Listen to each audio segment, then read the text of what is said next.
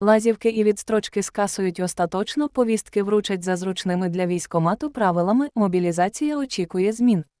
Залужний заявляв про необхідність нарощення резервів. Сказано, зроблено. Парламентарі жваво взялися за законодавче обмеження можливостей для відстрочки від мобілізації.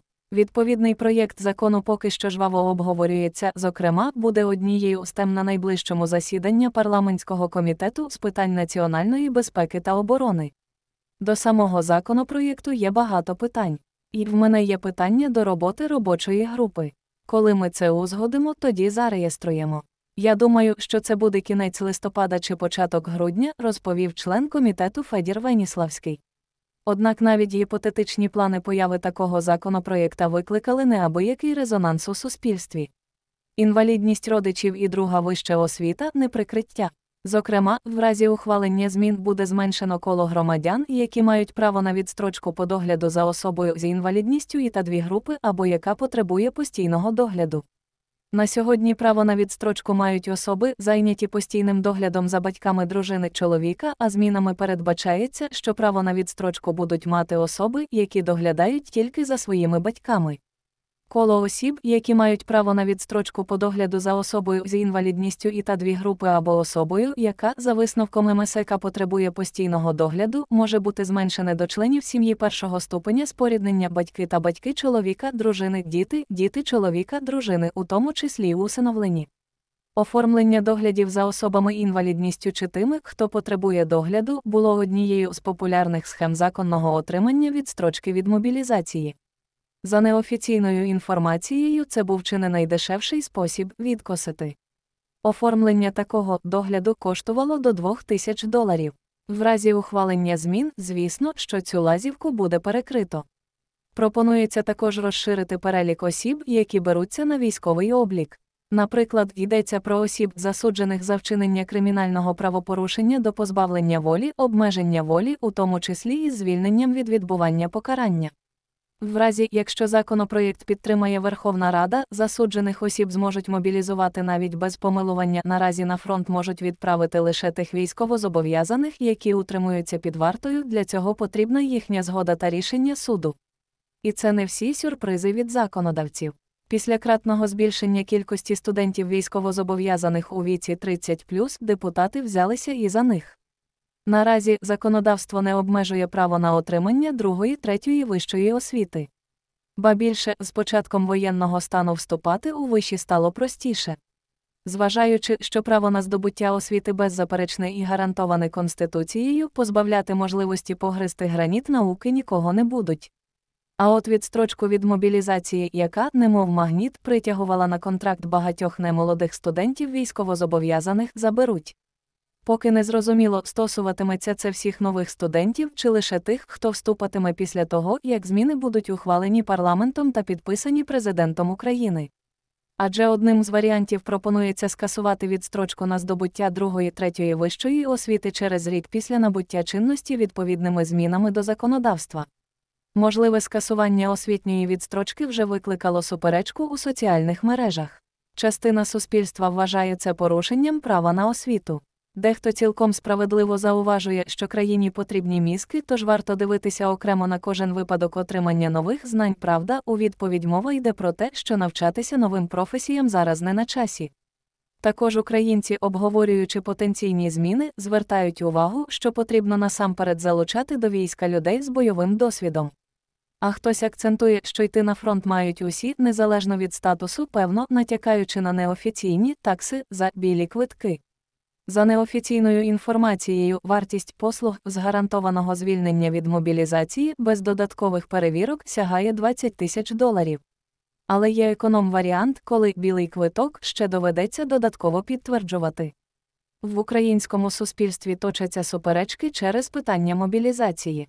Підсилення для військоматів. Ще серед новацій документу уточнення порядку прибуття військовозобов'язаних і резервістів до ТЦК та СП військоматів під час мобілізації.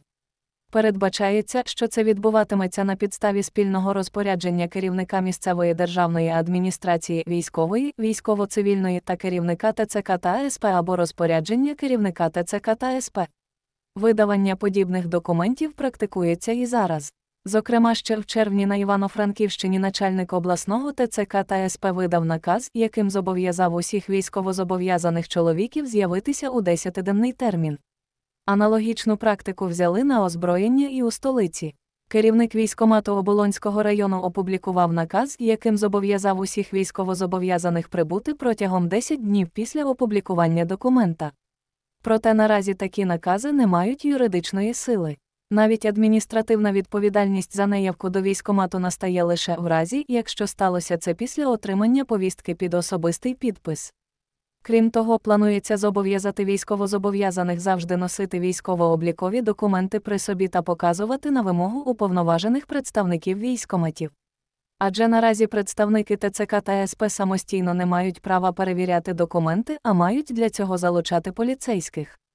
Також планують уточнити обов'язки місцевих органів виконавчої влади та органів місцевого самоврядування, підприємств, установ і організацій щодо мобілізації. За задумкою, вони мають здійснювати та забезпечувати оповіщення та прибуття громадян до ТЦК та СП. В Україні можуть зобов'язати військовозобов'язаних носити військово-облікові документи при собі, широке коло контролю за військовозобов'язаними. Зважаючи на те, що законопроєкт ще навіть не на стадії внесення до сесійної зали, які наслідки будуть від ухвалення відповідних змін, незрозуміло. Член комітету з питань нацбезпеки та оборони Федір Веніславський у розмові зазначив, що одразу говорити про негатив передчасно. Адже сенс цього проєкту не у посиленні мобілізації. За його словами, мова більше про те, щоб дати можливість залучити до участі у мобілізаційних діях усі органи влади. Мобілізація не обмежується лише діями ТЦК. І за нинішнім законом про мобілізацію та мобілізаційну підготовку це комплекс дій, в яких обов'язково мають брати участь органи місцевого самоврядування, підприємства, установи та інше.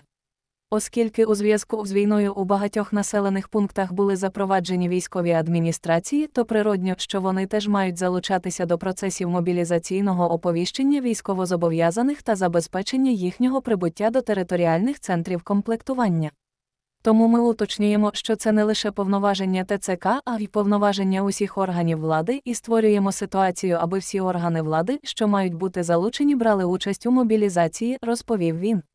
При цьому, за словами депутата, не йтиметься про посилення відповідальності за те, що на передову відправлятимуться непридатні до військової служби українці.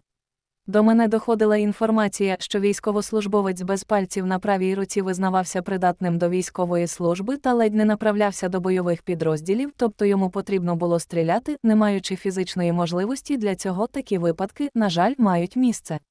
Ми намагаємося розібратися, але говорити про те, що буде посилена відповідальність, немає підстав. Йдеться про невідповідність займаній посаді тих, хто такі абсурдні речі робить, зазначив він. Поки що дискусія відбувається навколо фактично неіснуючих змін. Адже про деталі майбутнього законопроєкта ті, хто його бачив, воліють не розповідати. Мовляв, от коли робоча група завершить роботу над документом, тоді він з'явиться у публічному доступі і вже можна буде детальніше обговорювати кожен його пункт. Але навіть ті уривки законопроєкта, які прослизнули до соцмереж, викликали неабиякий резонанс.